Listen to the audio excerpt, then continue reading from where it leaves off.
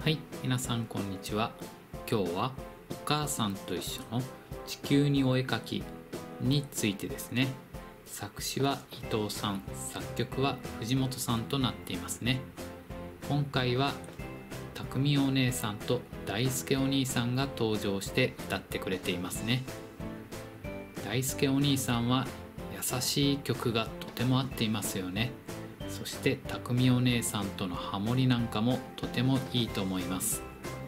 雄一郎お兄さんも優しい歌とても聞き応えがあるんですが大輔お兄さんもすごいいいと思います。皆さんはどっちの歌が好きですか？はい。